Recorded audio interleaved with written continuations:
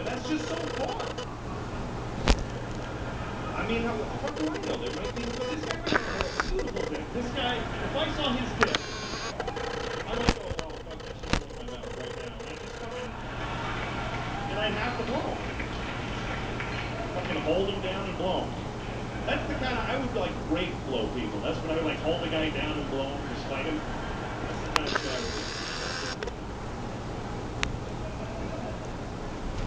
I'm just saying I'm not prejudiced. I, I haven't seen that many. There's really quickly billions of dicks in the world, that I've seen. Like, Where'd it go? Wait, that's too many, right?